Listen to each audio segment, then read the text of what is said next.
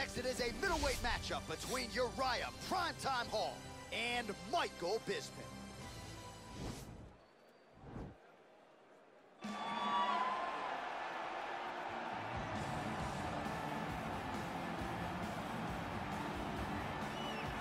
All right, so here he is, one of the more prolific takedown artists in the UFC at present. And when you get some praise from Daniel Cormier when it comes to your offensive takedown game, you know you're doing something right. And we talk about wrestlers and judo players and grapplers, but this guy just combines all of that.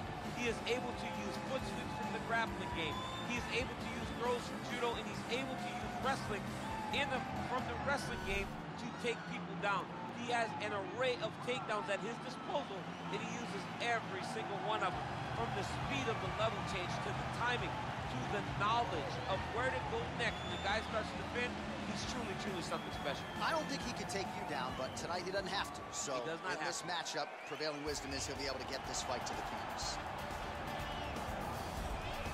Well, pretty much every time out in the UFC, DC, this man has put on a striking clinic, and that is his methodology coming in here tonight. He'll try to keep the fight on the feet. And that's why we tune in, right? That's why we tune in. We tune in to see guys that are dynamic. We tune in for the speed. We tune in for the knowledge of the striking game, the ability to set traps, the ability to find the jab, the ability to find the right hand, the right kick, the left kick, the knees, the elbows. He truly uses every weapon that he has in his arsenal to try and finish his opponents.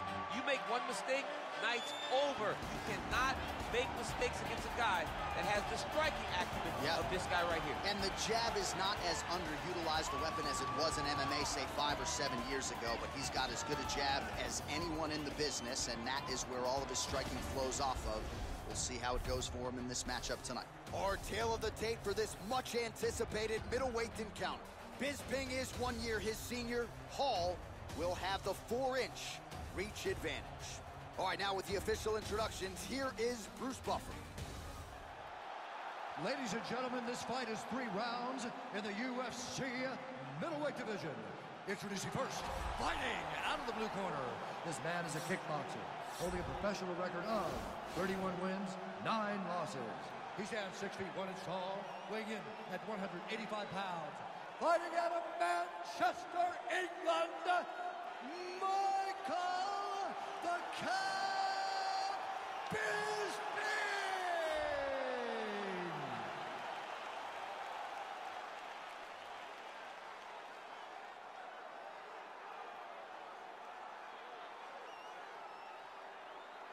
And now introducing his opponent, fighting out of the red corner, a karate fighter holding a professional record of 18 wins, 10 losses.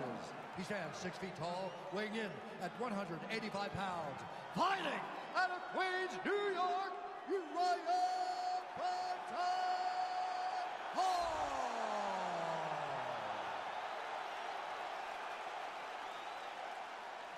And when the action begins, our referee in charge, Yves Lavigne. The veteran Yves Lavigne draws the assignment here. You ready?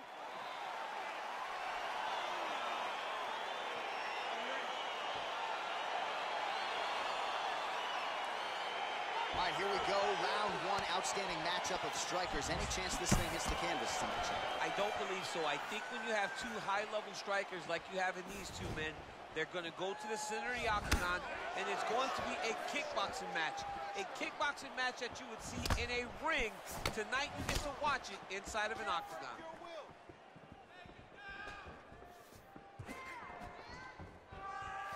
Well, perhaps things to come as he lands a kick there. Nice kick landed by this gentleman. Oh!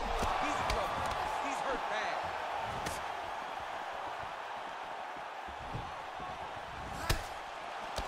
He is getting lit up right now, John. Jab hurt him a little bit. Oh. What a fantastic strike to throw at the exact right moment. He deserves this moment. Go finish this fight. Big powerful punch lands. Now he gets back to range. Bisping gets stung by that leg kick. And he landed the right hand there.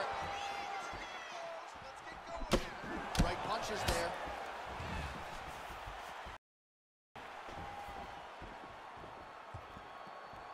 Left hand.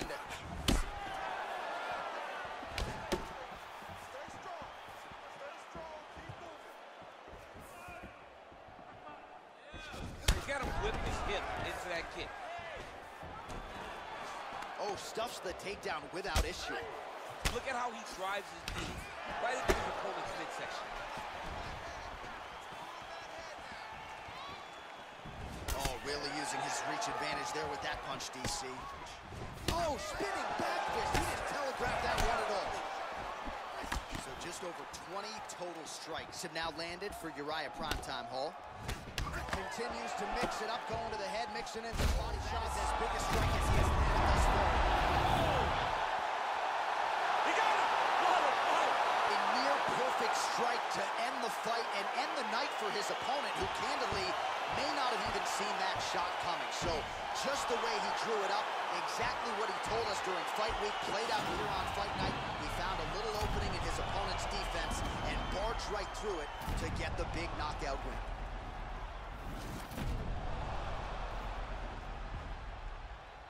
Well, what a moment for him here tonight. A huge knockout on one of the sport's biggest stages. That is one they'll be talking about for some time. Ladies and gentlemen, referee Yves Lavigne has called a stop to this contest at 3 minutes, 25 seconds of the very first round. Declaring the winner by knockout, Uriah Oh, there he is after a huge knockout win tonight. You going to the after party or what? I mean, I'm heading over there right now, John. I'm asking the producers, how soon can I get up? Because it's going to be a party over there. Not only because of the knockout, but that extra bonus check he's going to be carrying to the club tonight.